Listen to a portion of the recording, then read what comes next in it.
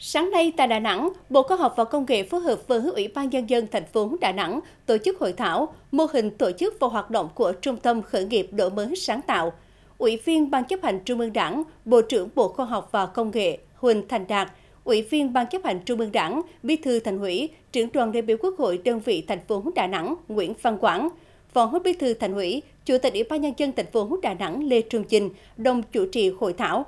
Tham dự hội thảo còn có lãnh đạo một số cơ quan của Quốc hội, Văn phòng Quốc hội, Văn phòng Chính phủ, lãnh đạo một số tỉnh, thành phố trực thuộc Trung ương, cơ sở đào tạo, tổ chức hỗ trợ khởi nghiệp đổi mới sáng tạo trên địa bàn thành phố và trong cả nước.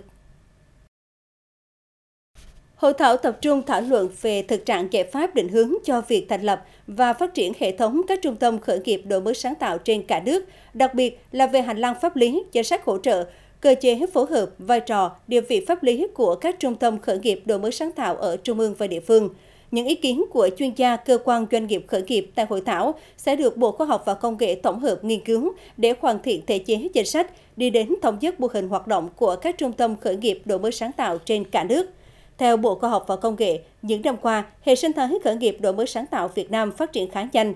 Riêng ba thành phố Hà Nội, Thành phố Hồ Chí Minh và Đà Nẵng chiếm 94 tổng doanh nghiệp khởi nghiệp cả nước và đã được Thủ tướng Chính phủ cho phép thành lập trung tâm hỗ trợ khởi nghiệp đổi mới sáng tạo quốc gia. Nhiều tỉnh thành cũng đã thành lập các trung tâm khởi nghiệp cấp địa phương. Ngoài các hành lang pháp lý và các chính sách hỗ trợ, hệ sinh thái khởi nghiệp đổi mới sáng tạo của Việt Nam cần các trung tâm hỗ trợ khởi nghiệp đổi mới sáng tạo làm hạt nhân để huy động khai thác, liên kết và tối ưu hóa các nguồn lực trong hệ sinh thái từ trung ương đến địa phương, khu vực tư nhân và cả khu vực ngoài nước.